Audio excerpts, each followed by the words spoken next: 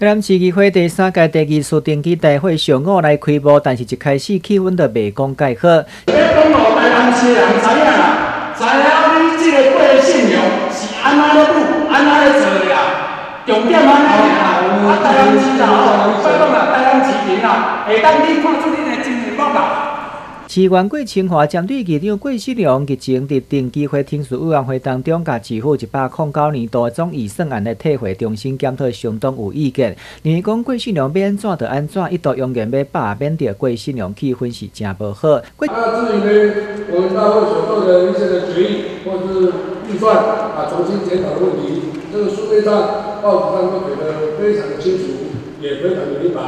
我讲啦，社社会啦。那不是整体的议员，不是你说的算。那我希望呢，我们来来讲啦，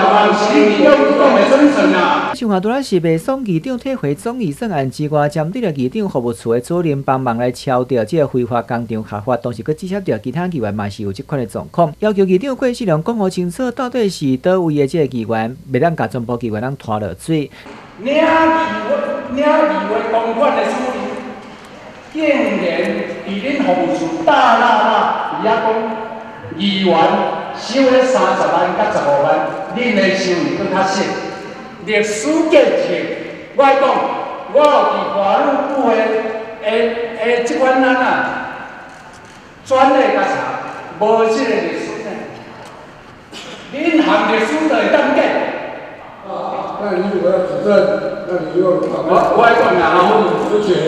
随时都可以去提告，不爱做检举，如有不还，你就是说法办。伊面对着郭清华扬言罢免甲相关的这个指控，郭新良表示讲，伊已经透过新闻稿甲多处来公开说明，嘛欢迎议员会当去告，知讲罢免议长的这个代志，郭新良是回呛讲，毋是议员讲了就准算。伊面对着定期会开播第一天，议长甲议员就人未公开拄好，历史的市长王伟泰甲市府个处长是来看甲规人硬气。那么新闻等一下议会采访报道。